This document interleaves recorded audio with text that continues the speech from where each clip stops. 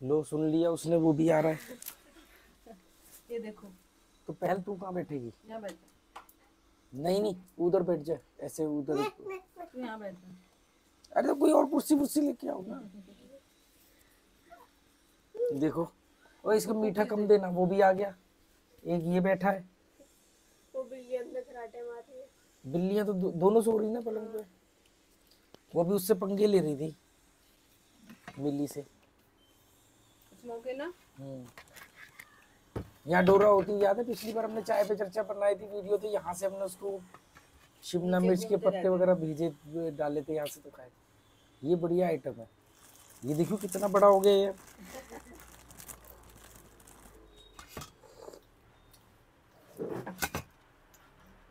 लोग कहेंगे तुम सब्सक्राइबर को ही बोलते हो कि वैल्यू नहीं है और उन्हीं की चीज़ें खाते रहते हो। ये खारी हमारे एक सब्सक्राइबर लेके आए थे बहुत अच्छी क्वालिटी की है। कल एक सब्सक्राइबर आए थे वो काफ़ी सारी चीज़ें लेके आए जो कुकीज़ खा रही है और ये ये आइटम बढ़िया है। ये वो आइटम है जो नॉर्मली हम शायद खरीद के नहीं खाते। ये क्या नमकीन बन बन मसाला बन। मसाला बन। ये मसाला बन है और है भी गीता बेकरी का। गीता बेकरी से लेके आए। वो सारा गीता बेकरी से लेके आए मिलता है वहाँ पे ये सब हमने वो कौन सी पाइनएप्पल की जो कुकी आती है वो भी हमने डैडी ने मिलके बाहर खाना शुरू किया। हम्म। वो भी तो सबसे पहले वो डैनियल जी लेके आए थे?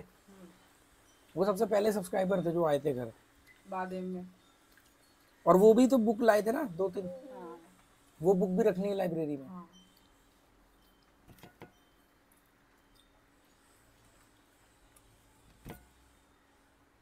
कल कोई पूछ रहे थे लाइसेंस या परमिशन के लिए लाइव में। तो पंचायत से परमिशन लेनी पड़ती है उसकी फ़ीस लगती है और उनको बताना पड़ता है कि भाई आप क्या कर रहे हो। तो जैसे अभी हॉर्टिकल्चर था या हॉर्टिकल्चर शॉप अब हम वहाँ लिखवाएँगे लाइब्रेरी हम्म तो आपको पहले परमिशन लेनी चाहिए ना ना करते तो? क्यों ना करेंगे? हम कोई सामान भी नहीं बेच रहे हैं। किताबें लाइब्रेरी आज की डेट में गायब हो रही है दुनिया से हम तो खोल रहे हैं। वो भी फ्री ऑफ़ कॉस्ट बच्चे आए पढ़े खेले। पीछे के एरिया में ना मैं खेलने का इंतज़ाम बना दूँगा सारा। हाँ वहाँ बच्चे बैठ के अपना- कैरम चेस। स्विंग स्विंग में टायर क्या? झूला। हाँ झूला वो ऐसे बैठने बैठने वाला है टायर के साथ झूले के चक्कर में ना बच्चे फिर और एक्टिविटी में नहीं जाएँगे। पार्क नहीं बना रहे ना? हम्म। बच्चों बड़ा हाथ तो तुम्हारे पास है ही ना अपना। मुझे मसाला बंद नहीं खाना है।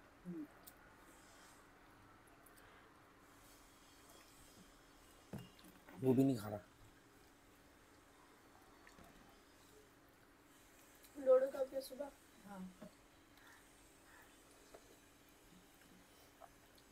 इतनी गहरी नींद में सोया डोडो के शोर से उठा ही नहीं मैं। पता ही नहीं चला वो सुबह कब गया।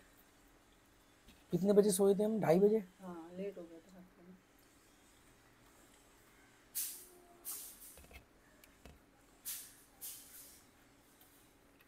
तो जितने भी आइटम है ना, सब बहुत सही है।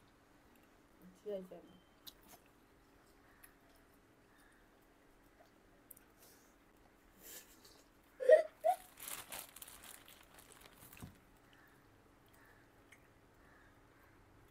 वो पणजी में ही रुके हैं?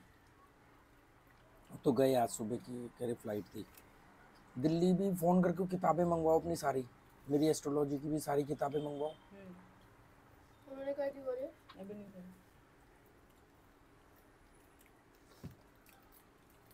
पंचांग पूछ रहे थे वो।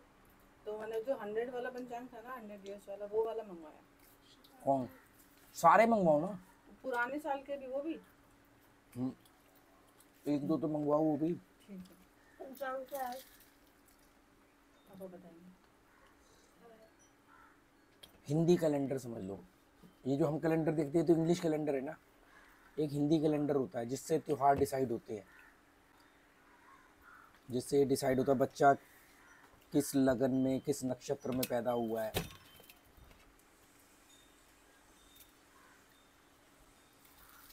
कुंडली भी उसी उससे बनती है। कुंडली के लिए जो आंकड़े चाहिए तो पंचांग से निकालोगे ना। आप तो जाके बता दोगे ज्योतिष को कि जी बच्चा जी बारह बजकर पाँच मिनट पे पैदा हुआ है। तो ज्योतिष उस समय देखेगा, दिन में ना बारह लगन होते हैं। दो घंटे का अप्रोक्सीमेटली एक लगन होता है।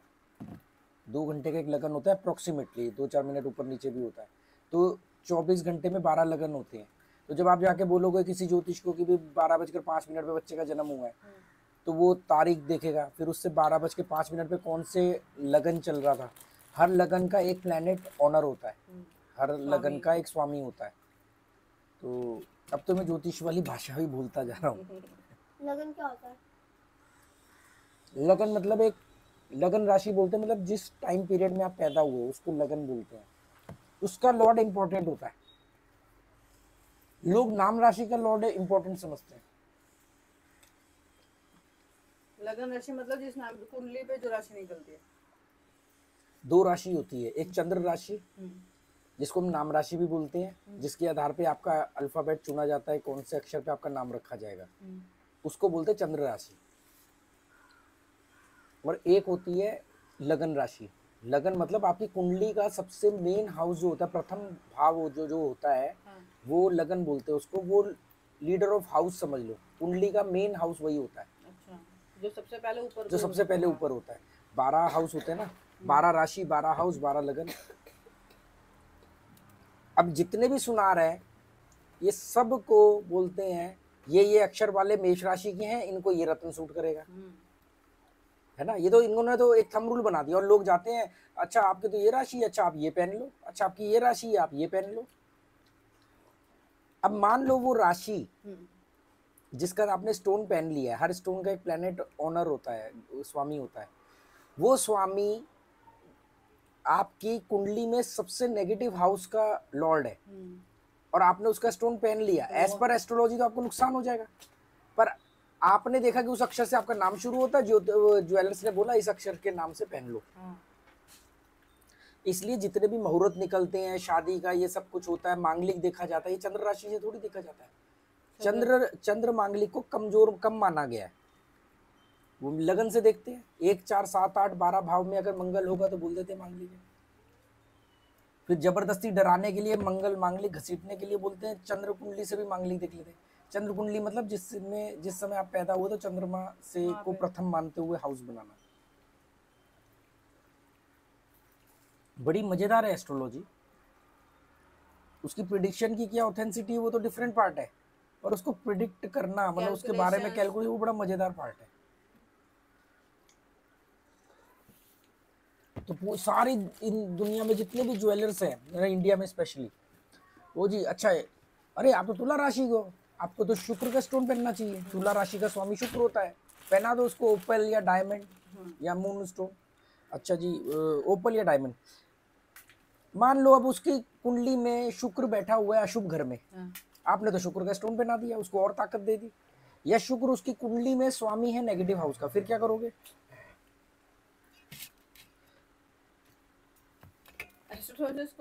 अपने- अपने ज्वेलर्स को स्टोन बेचने चाहिए। अपना क्या है सिंपल सा है। टेंशन नहीं है फ्यूचर की। तुम्हें अगर जीवन में कभी भी कुछ प्रॉब्लम हुई ना तो एस्ट्रोलॉजी सिखा दूँगा। उसके बाद तुम हिंदुस्तान के इतने बड़े ठग बन जाओगे। कि लोगों को बेवकूफ़ बना बना के खूब पैसा छाप सकते हो। और ईमानदारी से करोगे तो थोड़ा कम छापोगे। वो तुम्हारी चॉइस है।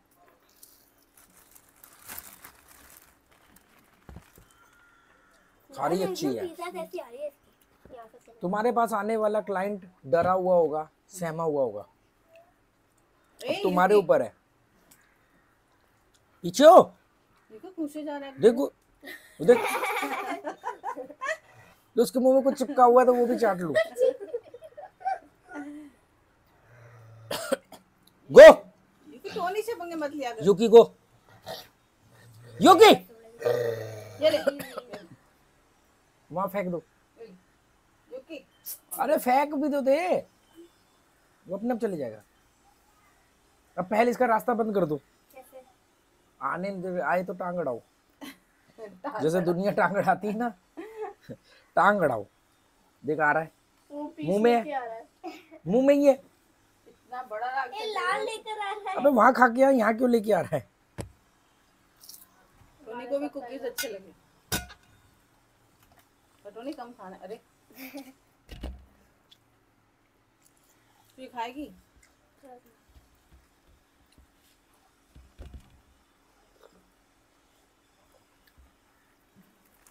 बिजली का काम तो दो दिन में कंप्लीट हो जाएगा। हाँ बिजली का तो आज क्या ट्यूबलाइटें आ गई? वो गए, गया उड़ लेने। तो ट्यूबलाइटें लग जाएँगी आज? हम्म, होल्डर वगैरह सारे लग जाएँगे? हम्म। खिड़कियों के गेट आज बन जाएँगे? चटाई लग जाए फिर देखना इसका लुक निकल के आएगा। ज़मीन पे नीचे जो मैट बिछा देना फ्लोरिंग कर रहे हैं। मतलब ऐसे टाइल। टाइल नहीं। रेन फर्श। हाँ तो उससे भी वैसे ही टाइल लगा देना मज़ा अच्छा वो वैसा फर्श ना चिकना वाला सीमेंटेड पर अरे जो डेजी लामा में नहीं था जहाँ बैठते थे नीचे फर्श था लाल कलर का प्लेन अच्छा वो लाल कलर जो ईट जैसा होता है वो नीचे रहे वो तो दीवारें के उससे हाँ उसका रंग इसके इसके जैसा होता है? मेरे जैसा ये बड़े वाले मिट्टी के। हाँ हाँ। ये चाय का दाग हट जाएगा ना? अभी धोने पे। हम्म। कल से पानी लेकर। तो इस पे इस ग्रे कलर पे भी दाग दिखेगा? हाँ कैसे? हल्का सा वो ऐसे जो दिख रहा है ना वैसे ही लगेगा। ओहो ये तो मसला हो गया। मसला हो गया। कौन सा देखा था? वो कहती है आपका क्या मसला है? वो कहता मेरा मसला नहीं तसला तसला है। वो कहता तो मैं आपका क्या करूँ? कहता मैं आप इंटरव्यू देने आया हूँ। पापा को दे हल्का सा पानी लगा लो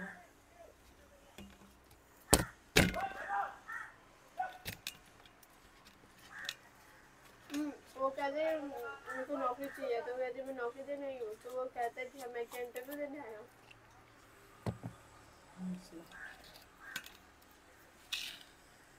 तो बॉस अरे हम हिंदी की बोल बोलचाल में बहुत सारे वर्ड हम उर्दू के इस्तेमाल करते हैं। और बहुत सारे इंग्लिश के यूज़ करते हैं। और पब्लिक उसको हिंदी का वर्ड मानती है। हाँ। अब आप हॉस्पिटल है हिंदी में हॉस्पिटल लिखते हो हॉस्पिटल बोलते हो पर हॉस्पिटल तो जो है वो इंग्लिश वर्ड है। हिंदी में तो उसको चिकित्सालय चिकित्सालय अस्पताल चिकित्सालय वो तो हॉस्पिटल को अस्पताल उन्होंने प्रोनाउंसिएशन मिस्टेक है ना। पर हिंदी में तो चिकित्सालय हो गया ना। और हॉस्पिटल को आप अस्पताल बोलो या हॉस्पिटल बोलो वो उससे क्या फ़र्क पड़ रहा है? तो अस्पताल जब हम हिंदी में लिखते हैं उसका प्रोनाउंसिएशन हाँ। अस्पताल तो है ही नहीं ना चिकित्सालय। वहाँ पे चिकित्सक होते हैं वो चिकित्सा करते हैं। आप एक बात समझो आलय आला मतलब क्या होता है। घर। आला आला जिसके साथ भी जुड़ जाएगा वो घर बन जाएगा। पुस्तकालय पुस्तक का घर चिकित्सालय चिकित्सक का घर मतलब अब चिकित्सक का घर मतलब डॉक्टर का घर नहीं मतलब वहाँ पर जहाँ चिकित्सा का इलाज होता है चिकित्सा चिकित्सक होते हैं डॉक्टर। जहाँ पर दवाइयों का घर होता है केमिस्ट उसको बोलते हैं औषधालय। औषधि।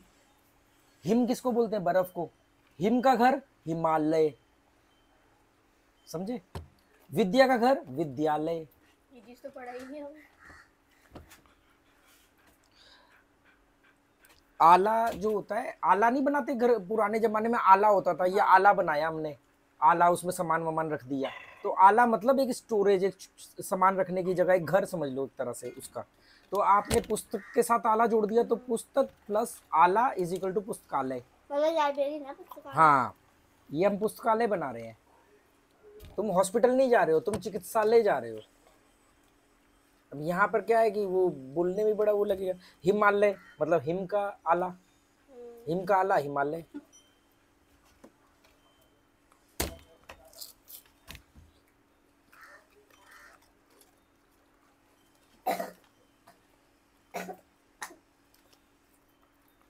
एक छोटी छोटी चीज़ें स्कूलों में बतानी चाहिए। ये बताते नहीं है। फिर यही लोग इंग्लिश को दोष देते हैं। इंग्लिश लोग अपनी मातृभाषा भूल रहे हैं। अरे ये तो बेसिक चीज़ है ना। बच्चे को बताओ कि बेटा पुस्तकालय आप उसको वर्ड ही अलग अलग यूज़ कर रहे हो। वो हिंदी में भी उसको लाइब्रेरी ही लिख देंगे।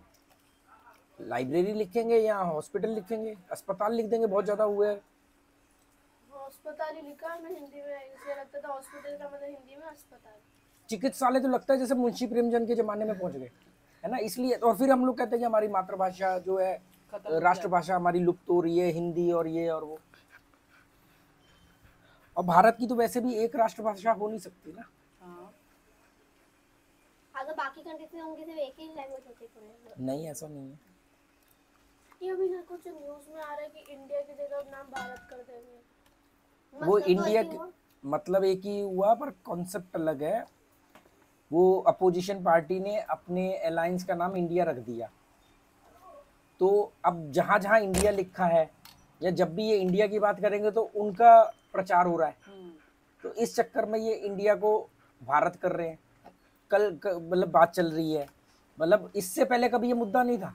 उनके नाम रखने से जस्ट एक दिन पहले तक ये मुद्दा नहीं था। बाबरी मस्जिद के केस सॉल्व होने से पहले मुद्दा बाकी मस्जिदों का नहीं था। मैंने वही अभी जो सब्सक्राइबर आए थे मेरी उनसे बात हो रही थी। कल ऐसे बैठे हुए हमारे लाइब्रेरी में इसको मैंने कहा यार हम बचपन से बड़े हुए बाबरी मस्जिद का केस देखते हुए हाँ। कि कोर्ट केस चल रहा है। जी बाबरी मस्जिद का हम जब फ़र्स्ट सेकंड में पढ़ते थे तब से लेके हमारे पैंतीस चालीस साल की उम्र तक यही चलता रहा। वो सॉल्व हुआ मैंने बहुत सपोर्ट किया। मैंने कहा यार अच्छी बात है। एक एक टंटा खत्म हुआ अब कम से कम एक मुद्दा तो खत्म हुआ। अब दो मुद्दे और खड़े हो गए जी। अब ये मस्जिद अब अब ये जो है ये अपनी पूरी जवानी से बुढ़ापे तक ज्ञानवापी और कोई दूसरी मस्जिद का केस देखेंगे। और अगर वो भी सॉल्व हो गया तो फिर किसी तीसरी मस्जिद का देखेंगे। और फिर हम कहते हैं कि यार हम ग्रोथ नहीं कर पा रहे। राम मंदिर बन गया। अब ये देखो ना इलेक्शन के नाम पे आप हिंदुस्तान के साथ छेड़खानी कर रहे हो कि इंडिया उन्होंने भी इंडिया नाम जानबूझ करके रखा। और ये भी इंडिया के नाम से इफ़ेक्ट हो गया कि ये भी कह रहे भारत। मतलब तुम अपने दो कौड़ी के वोट बैंक के लिए तुम पूरे भारत के साथ छेड़खानी कैसे कर सकते हो? मतलब तुम इंडिया के साथ कैसे छेड़खानी कर सकते हो। ये मतलब यहाँ पर ये खतरनाक बात ये नहीं कि कौन क्या कर रहा है। खतरनाक बात ये है कि उनको विपक्ष को जीतना इतना ज़रूरी है इनको जीतना इतना ज़रूरी है कि ये देश के साथ छेड़खानी कर रहे हैं। ये चीज़ गलत है। अरे ठीक है यार इलेक्शन होते हैं होते हैं लोग जीतते हैं हारते हैं कोई बात नहीं। खतरनाक बात ये है। फिर इनमें और आने वाले दिनों में ये हिटलर बन जाएँगे और क्या होगा? वाले अपना नाम चेंज कर रहे हैं वोट के लिए। कनाडा वाले चेंज कर रहे हैं नाम अपना। ट्रंप नपा हुआ है ना वहाँ पे? ट्रंप ने भी यही किया था। पावर में रहने के लिए ट्रंप ने पहली बार ऐसा हुआ अमेरिका के इतिहास में कि भीड़ इलेक्शन के नतीजों के खिलाफ जाके व्हाइट हाउस में घुसने की कोशिश कर दी भीड़ ने। कुछ हद तक एंटर भी कर दी। वो इत, इतनी मतलब बड़ी बेइज्जती थी अमेरिका की कि अब क्या हुआ? वो उसके ऊपर दुनिया भर के केस चल रहे हैं। यार आपने अपने आप को पावर में रखने के लिए देश के साथ छेड़ाखानी कर तो उसको तो आया ना कि एआई के थ्रू जो बाइडन के ऐसे ऐसे वीडियो बना के जो उसने बोली भी नहीं पाते वो दिखा रहा है उनको चलते हुए कि वो बोल रहा है झूठ के ना पैर पतले होते हैं हम्म। कल को कोई भी मेरा वीडियो काटेगा क्लिप और एआई के थ्रू मेरे ही आवाज़ में मेरे ही एक्सप्रेशंस में वो जो चाहेगा वो बुलवा देगा और मूर्खों की भीड़ के बीच में आप रह रहे। हो वो मान लेंगे आप जब तक साबित करोगे कि ये आप नहीं हो हम्म। या जब तक कोर्ट साबित करेगा कि ये आप नहीं हो तब तब तक तक आपका सब कुछ लुट चुका होगा आप बिल्कुल छिन्न भिन्न हो चुके होगे या आप मर चुके होगे। मान लो यहाँ भीड़ आगे खड़ी हो गई हम कह रहे हैं कि नहीं ये मैंने नहीं बोला ये छेड़ाखानी करी गई है तो वो आपको लगता है सुनेगी? वो तो क्योंकि उसका जो लीडर होगा वो वो तो इंटेंशनली आया होगा ना कि यार हमें तो करना है हमें जानना ही नहीं है सच क्या है। हमने तो जानबूझ के प्लांट किया है हम्म, कि भाई इसके बहाने हम तेरे को नुकसान पहुँचा सके। हाँ। तभी तो मैंने बोला, मैं सेंसिटिव हूँ, मैं भीड़ को कुछ नहीं बोलना लोग पहले तीन चार आदमियों के लिए, चाहे अपना जितना मर्ज़ी पैसा, वक्त खराब हो जाए, उनको नहीं छोड़ना। आजकल तो बहुत आसान हो गया ना। अब क्या होता है, चोर पकड़ते हैं, चोर को पीटती है भीड़, उसमें से कोई एक आवाज़ मारता है, बीच में से कि, अरे, ये देश का गद्दार है, या इसको जय श्री राम बुलवाओ, या करो, और भीड़ मार देती है। सेम दूसरी साइड भी होता होगा। दूसरी साइड पॉपुलेशन कम है तो कम होता होगा और यहाँ ज़्यादा है तो ज़्यादा होता है। अब ये जहाँ पर बताओ मतलब कि ये मेरे ना बड़ा अजीब लगा। मैंने कहा यार उन्होंने भी इंडिया नाम जानबूझ करके इसी हिसाब से रखा कि भाई हमें भी पॉपुलैरिटी मिले ये घिर जाएँगे। हाँ, और ये घिर गए। गिर गए। उन्होंने भी ये नहीं सोचा कि यार ठीक है हम इलेक्शन जीतेंगे विपक्ष ने भी ये नहीं सोचा कि हमें इलेक्शन जीतना है तो हम दूसरे तरीके जीतेंगे। उन्होंने भी अपने साम दाम दंड भेद अपनाए और उन्होंने इंडिया नाम निकाल के लेके आए। इंटेंशनली निकाला ना तुक्के से थोड़ी इंडिया बन गया सही बात है। ना? तो ऐसे ही जिस जिस ट्रैप में वो इनको फंसाना चाह रहे थे ये फंस गए। गए। अब इनको लगा कि यार हम जितनी बार इंडिया बोलेंगे उनका प्रचार होगा। ऐसे प्रचार होता है पर ये भी अब इंडिया को भारत करने पे लग गए। अब अब से पहले भारत इंडिया भारत का भी मुद्दा ही नहीं था। अब ये मुद्दा आ गया बीच में। मतलब कि दोनों हम ही लोग की बात करेंगे तो विपक्ष पार्टी होगी वो। मतलब कमाल की बात है कि आप ये सोचो कि आप अपना इलेक्शन जीतने के लिए भारत के नाम के साथ भारत के स्ट्रक्चर के साथ जो है। तो भारत में बहुत पोटेंशियल है भारत के लोगों में कुछ भी नहीं है। और लोगों को लोग इसी में बटे हुए हैं। लोग बटे हुए हैं इसमें। इसमें बात चल रहा होगा अभी अभी क्या होगा भीड़ बढ़ जाएगी। आधी भीड़ चली जाएगी इंडिया के सपोर्ट में आधी भीड़ चली जाएगी भारत के सपोर्ट में। मतलब हिंदुस्तान में लोग इंडिया और भारत को लेकर के लड़ेंगे। लड़ेंगे। ये कल को क्रिकेट टीम में ना बना ले कि आज मैच है इंडिया और भारत का। मूर्ख कुछ भी कर सकते हैं। मूर्ख मूर्ख जैसे मैं बोलता हूँ ना बीइंग प्रिडिक्टेबल इज़ बोरिंग ऐसे मूर्ख भी अनप्रिडिक्टेबल होते हैं। ये कुछ भी कर सकते हैं। ये कल को इंडिया क्रिकेट टीम का नाम रख देंगे इंडिया। अभी तक हम भारत पा, पाकिस्तान के मैच में वो करते थे। हम्म, अब इंडिया अब इंडिया और भारत के बीच में मैच होगा। और मीडिया कुछ भी कर देगी। अरे कल बड़ा मज़ेदार वो हुआ। लाइव में एक आदमी ने पूछा कह रहा भाई साहब वो जी ट्वेंटी चल रहा है और आप तो विदेश आते जाते रहते हो। अभी हमने पाँच छः कंट्री कवर करी मैंने। तो वहाँ पर मतलब लोग इंडिया को जानते मोदी जी को भी जानते होंगे। हमारा तो बड़ा नाम मतलब आपको फ़र्क दिखा लोग आपसे पूछते हैं कि आप इंडिया से आए हो मोदी जी और ये। तो एक बड़ा मज़ेदार जवाब मेरे मुँह में था पर मैंने बोला नहीं। मैंने कहा, मैं मैं कहने वाला था कि मैंने कहा, यार, मैं जैसे ही जाता हूँ और इमिग्रेशन की लाइन में लगता हूँ तो जैसे ही वो मेरा पासपोर्ट ब्लू कलर का देखते हैं तो वो कहते हैं लाइन से मुझे बाहर बुलाते हैं, फिर मुझे बिठाते हैं, कहते बैठो, वहाँ पे क्लोज का बोर्ड लगा देते हैं, बाकी लोग खड़े रहते हैं। फिर कहते हैं, आओ अच्छा आप इंडिया से हो, आप आओ आओ, बैठो। फिर मुझे बिठाते हैं, कहते हैं, और बताओ, चाय, जूस, क्या लोगे? आप चाय पानी में बताओ। तो फिर मैं मना करता हूँ तो पीछे पड़ जाता है, कह रहे, नहीं, आप इंडिया से हो बिना चाय कॉफ़ी पिए तो हम आपको जाने नहीं देंगे। ए, सवाल जवाब ये फॉर्मेलिटीज ठप्पा वप्पा लगना ये चलता रहेगा। आप बताओ चाय कॉफ़ी तो मैं बोलता हूँ कि ठीक है यार चाय मंगवा दो थोड़ा मीठा कम रखना। तो चाय आती है फिर वो बोलते हैं और? तो नहीं वो बोलते कब रुकवा रहे हो? फिर मैं पूछता हूँ क्या? यूक्रेन रशिया वॉर कब रुकवा रहे हो? तो थोड़ा जल्दी करवा दो यार थोड़ा लोग सफ़र कर रहे हैं। तो कहाँ करवाएँगे? जल्दी करवाएँगे। रुकवाते हैं। क्योंकि यार आप तो इंडिया वाले, आप तो कुछ भी कर सकते हो, आप तो विश्व गुरु हो। और थोड़ा सा देखना जरा, देश में, दुनिया में दुनिया में शांति रहे।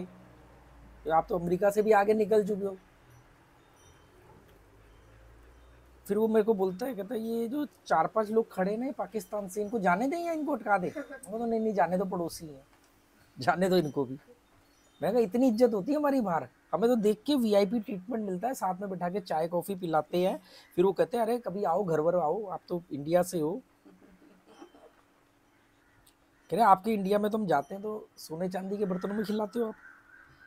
ये जो आए हैं जी ट्वेंटी के लोग ना, इनको ये जो क्रॉकरी सर्व होगी तो कहीं जगह पर क्रॉकरी गोल्ड प्लेटेड या चांदी की होगी या गोल्ड की होगी। तो मीडिया वो दिखा रही है। मैं सोच रहा हूँ कि अगर हमारे घर कोई मेहमान आता है है ना? तो हम उसको जब महँगी क्रॉकरी में खाना खिलाते हैं तो हम क्रॉकरी डिस्प्ले में करते हैं कि हमने ये बर्तन में खाना खिलाया। पर हमारे न्यूज़ चैनल्स में ये चल रहा है कि ये जो जी ट्वेंटी के लोग आ रहे हैं, इनको हम सोने चांदी के बर्तनों में खाना खिला रहे हैं। कमाल की बात ये है कि ये जो दिखा रहे हैं, ये इंडियंस को ही दिखा रहे हैं। ये जितने भी न्यूज़ चैनल है ये कोई अल जजीरा की तरह या बाकी इंटरनेशनल चैनल तो है नहीं कि भी पूरे यूरोप में और पूरी दुनिया न्यूज़ चैनल देख रही है कि अरे देखो हमारा वह देश का राष्ट्रपति अमेरिका में वहाँ इंडिया में जाके सोने के बर्तन में खा रहा है। वहाँ तो बेचारा डोने में खाता होगा है ना? तो और ये कौन सा देश दिखा रहा है जिस देश के खुद 80 करोड़ लोग सरकार के मुफ़्त अनाज पे ज़िंदा है? हाँ। मैं सोचता हूँ यार वो 80 करोड़ लोगों के ऊपर क्या बीत रही होगी? जिनको सुबह राशन की लाइन में लग के मुफ़्त अनाज लेना है और टीवी में वो देख रहे हैं कि यार दुनिया भर के देश के लोग आए हैं सोने चांदी के बर्तन में खा रहे हैं और हम सुबह लाइन में लगेंगे। में भी नहीं मिल रहा। हम अरे पत्तल में हमें मिलेगा सुबह खराब वाला चावल जिसको सड़ा करके बियर बनाई जाती है उस टाइप की क्वालिटी का चावल मिलेगा हमें। और वहाँ पर आप उनको ये दिखा रहे हो कि देखो हम दूसरे देश के लोग अब इसका मतलब ये थोड़ी कि मैं ये कह रहा हूँ कि सोने चांदी के बर्तन में आप उनकी खूब आओ भगत करो कोई दिखाने वाली बात वो आओ भगत करो पर आप इसको डिस्प्ले में किसको दिखा रहे हो? आप इंडियंस को ही दिखा रहे हो। हाँ। आप दुनिया को दिखा दो ना आप। आप जाके आप यूरोप में दिखाओ देखो जी तुम्हारा राष्ट्रपति देखो जी ये आया है तुम्हारा राष्ट्रपति हमारे यहाँ पे तो देखो सोने के बर्तन में खा रहा है। आप जाके यहाँ पे ये बोलोगे? मतलब व्हाइट हाउस में डिनर होता है। हम्म। तो व्हाइट हाउस में वहाँ की अमेरिका अमेरिकन जो मीडिया है वो क्या ये बताती कि देखो जी किसने किस बर्तन में खाना खाया? पर हमारी मीडिया ये बता रही है। अरे एक तो बड़ा मज़ेदार मुझे वो लगा। कल मैं ऐसी एक वीडियो क्लिप देख रहा था।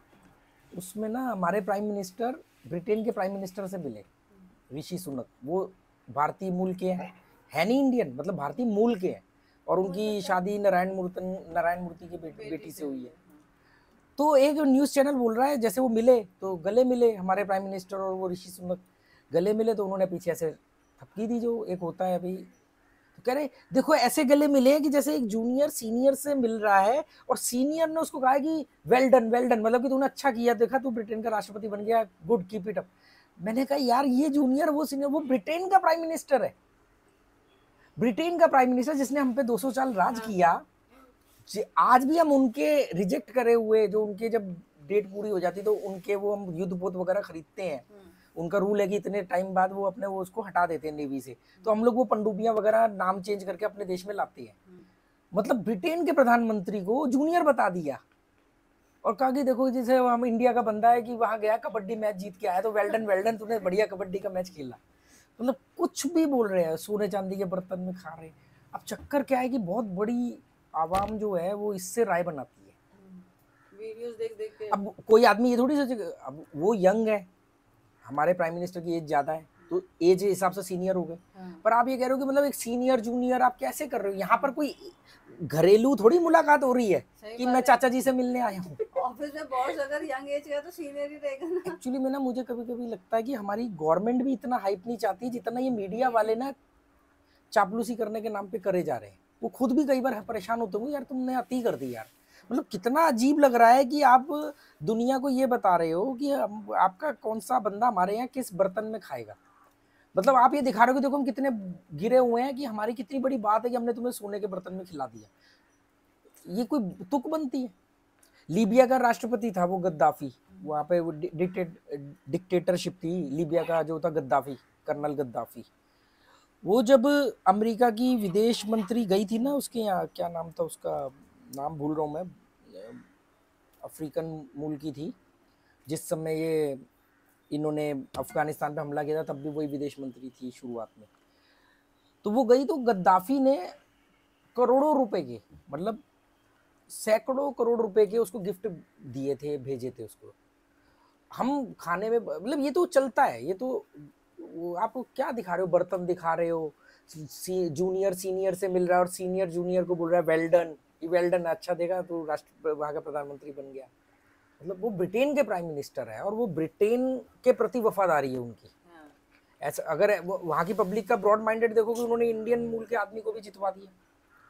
यहाँ पर कोई दूसरे मूल का आदमी बनना कितना मुश्किल होता है कितना कलेश होता है। सोनिया गांधी आज तक नहीं जगह बना पाई है।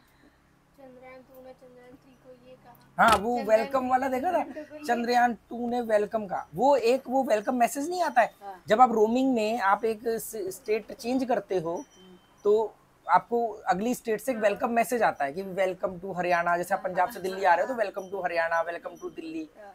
तो ऐसे ही जब उसने उसको कनेक्ट किया तो उसने कहा कि वेलकम टू स्पेस या जो भी कुछ बोला होगा। इन्होंने अरे वो स्वागत किया जैसे स्वागत किया अरे आओ आओ आओ चाचा जी बड़े दिनों बाद आए हो यार आपका मैं तो अकेला बोर हो रहा था। बड़ा ही ये बहुत अच्छी बात है कि हमने न्यूज़ व्यूज़ देखने मतलब 2014 से हमने टीवी देखना बंद कर दिया था। तो हमें साल डेढ़ साल पहले तो लाए थे स्मार्ट टीवी हाँ। तो हमने बंद कर दिया। और ये बहुत बड़ा हमारे दिमाग में शोर और कचरा नहीं आ रहा है। ये जो थोड़ा बहुत या तो जो हमारे व्यूअर्स हैं वो बता देते हैं भेज देते हैं लाइव में पूछ लेते हैं या जो यूट्यूब पे स्क्रॉल करते टाइम कई बार कोई चीज़ आ जाती है नज़र में।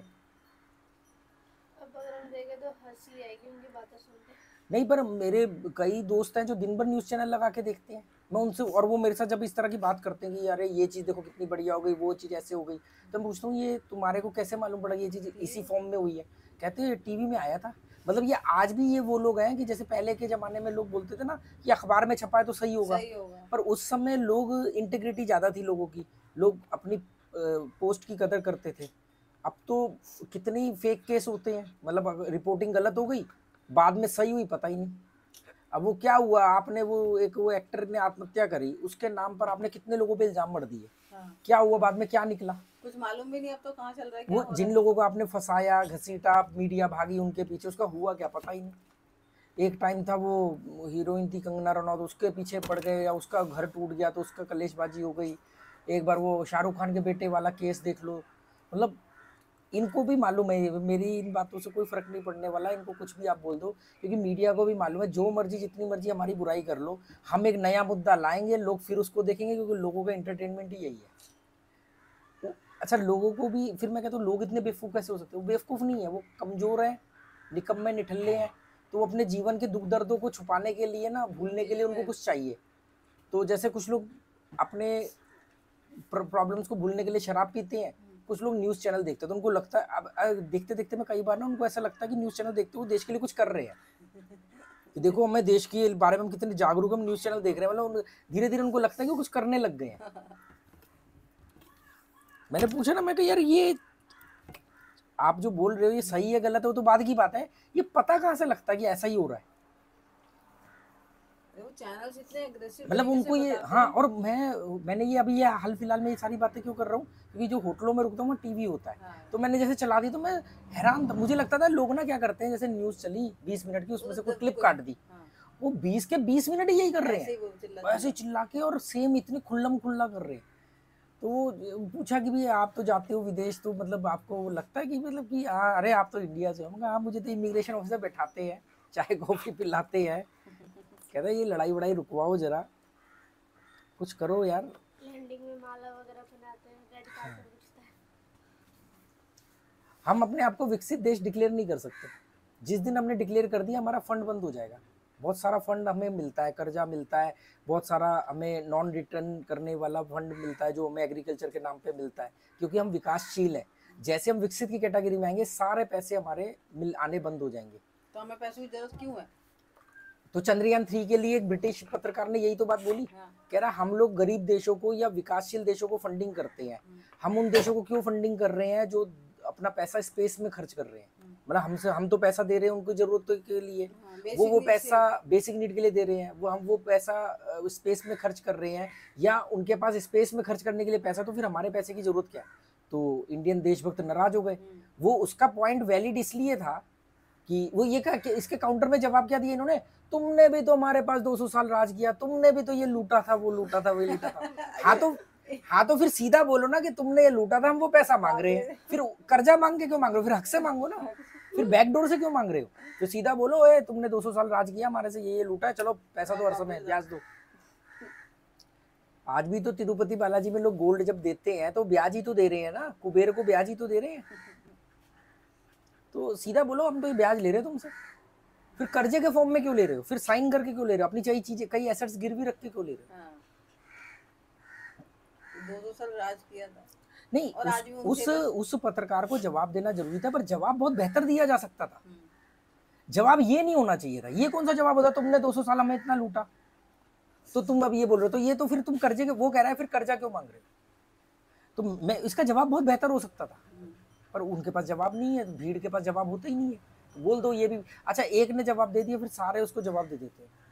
वो उसी जवाब को रिपीट करने लग जाते हैं। चल रहा है लो बैटरी का साइन आया चल रहा है ना? अभी 33 मिनट 38 39 सेकंड्स की बनी अभी चल रहा था जैसे कि नहीं मुझे नहीं मालूम चलो बंद करो फिर देखेंगे और क्या है भाई। चाय बनाओ एक कप और।